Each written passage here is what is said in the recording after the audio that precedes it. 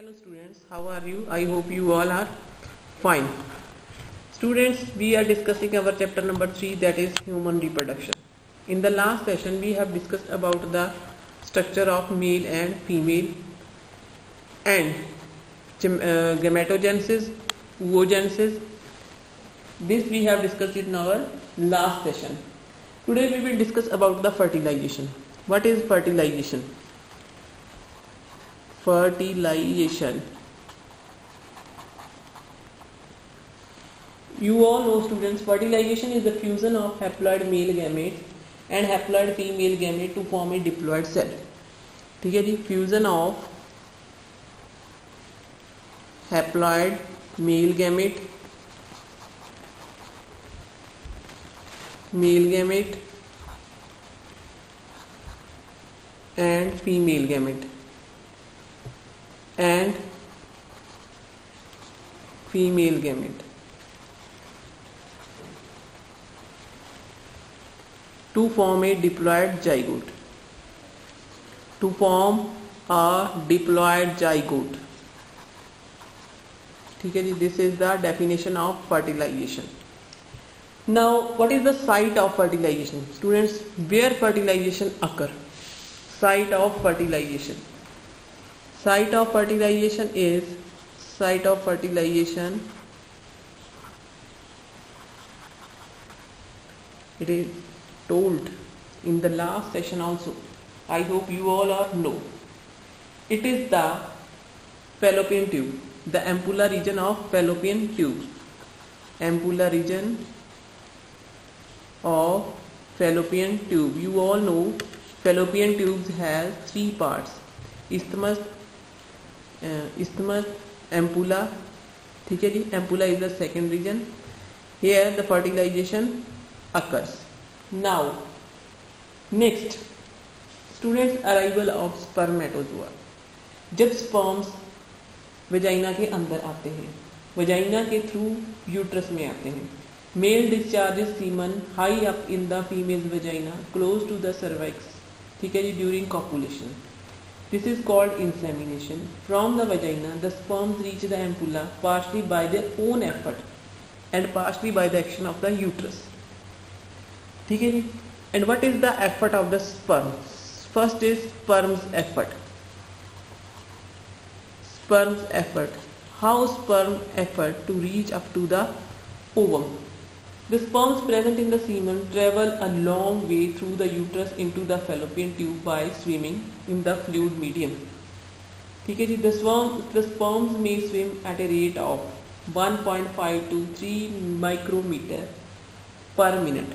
1.5 to 3 micrometer per minute एक minute में 1.5 से लेके 3 मिलीमीटर तक का वो रास्ता कवर करते हैं A single ejaculate of semen into the vagina contains about 200 to 400 million sperms. 200 to 400 million sperms. ठीक है जी Only 100 sperms reach the fallopian tube. Others degenerate inside the uterus. Now second part is uterus efforts. तो fertilization में uterus का क्या effort है?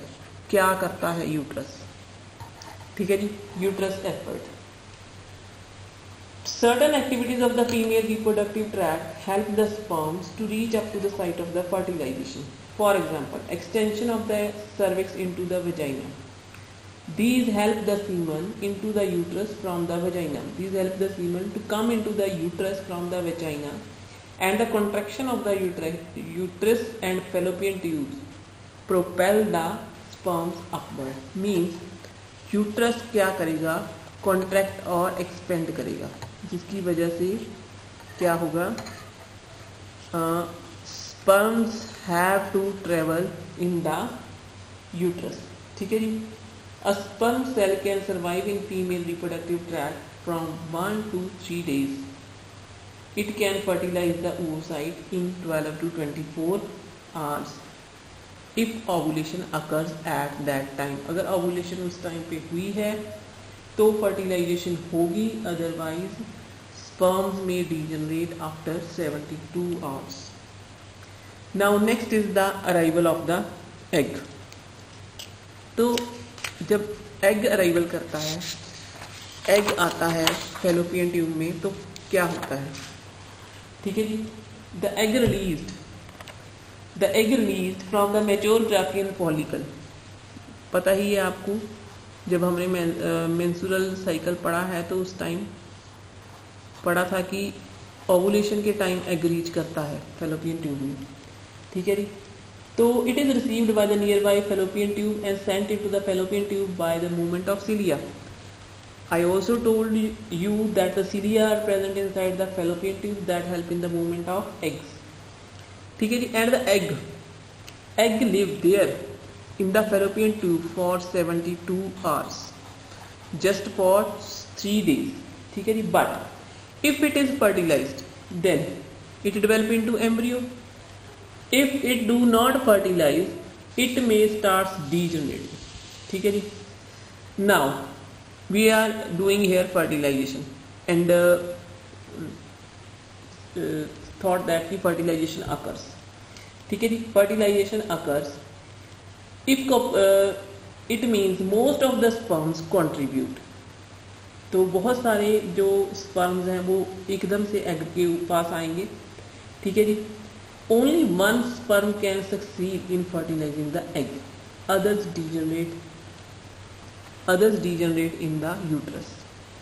ठीक है जी? एग एक ही फर्टिलाइज क्यों करेगा? Because zona pellucida layer zona pellucida layer is present around the egg around egg that do not allow many sperms to enter. To enter ठीक है जी तो उसके बाद स्टूडेंट्स है हमारे पास chemical and physical events of fertilization fertilization में कौन सी केमिकल और फ़िज़िकल इवेंट्स होते हैं chemical and physical events physical events of fertilization. First we will discuss acrosome reaction. Students, as I am explaining you about the structure of the sperm. Then we draw uh, a point known as the acrosome. तो उस acrosome का क्या reaction होगा? ठीक है जी? तो egg आ गया। ठीक है जी अब स्पर्म भी आ गया। स्पर्म ने क्या किया? एंटर कर रहा है एग के अंदर। तो वो एक्रोसोम क्या करेगा? What is the function of acrosome acrosome उस जगह के ऊपर अपने आप को बाइंड कर लेगा। ठीक है जी? Acrosome help in the binding of head binding of head of sperm to the ovum ये है एक्रोसोम का रिएक्शन ठीक है जी?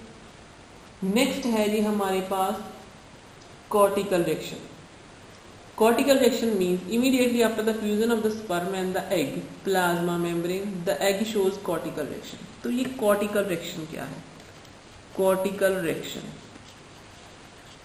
कॉर्टिकल रिएक्शन होती है फ्यूजन के बाद जब हेड ओवम के अंदर जा चुका है। So immediately after the fusion of the sperm and egg plasma, the egg show cortical reaction to further check the entry of the more sperm. ये cortical reaction कौन करता है? जोना पेलुसिडा करती है। It check the entry of check entry of other sperms. ठीक है जी? Other spawns ताकि और स्पॉन्स को आगे अंदर ना जाने दें। नेक्स्ट है जी स्पर्म एंट्री पहले एक्रोसोम का रिएक्शन फिर cortical reaction last is sperm reaction ठीक है जी? अब स्पर्म का क्या रिएक्शन है जी? स्पर्म का रिएक्शन है।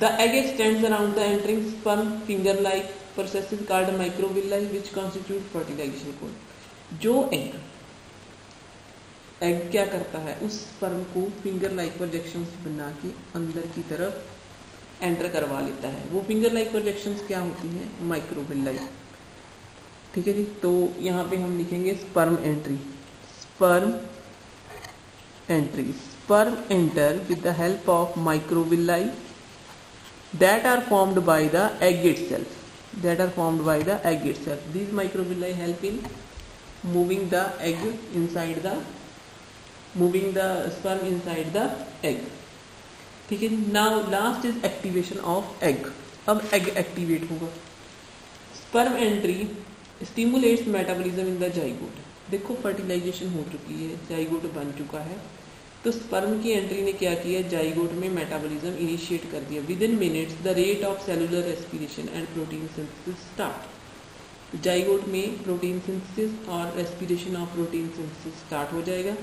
ठीक है जी? और ये जो फर्टिलाइजेशन लास्ट हम लिख लें activation of egg activation of egg ठीक है जी? Means sperm entry stimulates sperm stimulates sperm stimulates protein synthesis and metabolism of protein synthesis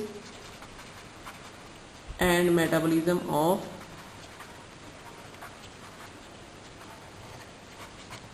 zygote ठीक है जी तो ये थी हमारी chemical and physical events that occurs during the entry of the sperm. Next is sex of the offspring. Next is the sex of the offspring. Sex of offspring. Students, half of the uh, sperms carry X chromosome and half carry Y. ठीक है जी but female carry only X and X chromosomes. In male, two sex hormones X and Y are present, so male is heterogamete, means two types of chromosomes are present. Here, X and X are present in female. That is why it is homogamete. ठीक है जी two types of sperms are present that are carrying X and Y chromosomes. If the sperm carrying X fuses with the X of the female, then the sex of the fetus is girl. ठीक है जी if Y chromosome fuses with the X of the female, then the sex of the fetus is boy. ठीक है जी this is the sex determination method in human being also this you also done in your class 10 sex determination method okay now what is the significance of fertilization significance of fertilization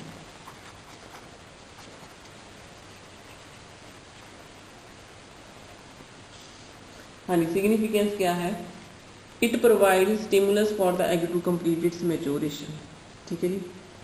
egg maturation में help करना। Egg तो तभी mature होगा ना जब उसका आ, मतलब embryo बनेगा then it activates the ovum to develop into new individual it activate ovum to develop new individual ठीक है जी? To new individual third third is it makes the egg more active metabolically makes egg activate metabolically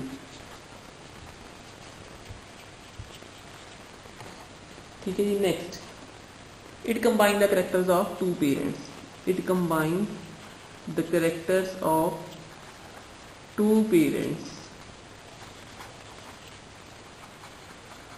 Uh, इसी तरह से आप ये भी लिख सकते हैं कि it determine the sex of the young one और fertilization induce centriole which are missing in the ovum ठीक है जी? तो इट डिटर्मिन द सेक्स हो गया it determine the sex of the individual so students this is the fertilization. And significance of fertilization. हाँ जी student species specificity in fertilization वो क्या होती है? A glycoprotein fertilizine composed of monosaccharides and amino acids is secreted by the ovum हर एक organism का जो ovum होता है फीमेल का, उसके बीच में एक खास किस्म के मोनोसेक्राइड और अमाइनो एसिड्स होते हैं। ठीक है जी? जो स्पर्म होता है, उसके पेनिट्रेटिंग सरफेस में भी एक एंटी फर्टिलाइजेशन होती एंटी फर्टिलाइजीन होता है। तो जब उसका एंटी फर्टिलिजीन और फर्टिलिजीन का आपस में इंट्रैक्शन होता है तो उस टाइम क्या होता है? तभी फर्टिलाइजेशन होती है। अगर वो एक दूसरे के एंटी हैं सपोज़ फर्टिलाइजीन है जो वो किसी और स्पीसीज का है एंटी फर्टिलाइजीन किसी और स्पीसीज की है तो फर्टिलाइजेशन नहीं होगी। तो ये है student species specificity in fertilization this is not in your syllabus but मैंने आपको बता दिया। ठीक है जी? तो in the next session we will start with the cleavage और सेगमेंटेशन क्योंकि जाइगोट की क्लीवेज कैसे होती है और सेगमेंटेशन क्या होती है। ठीक है जी? Thank you and have a nice day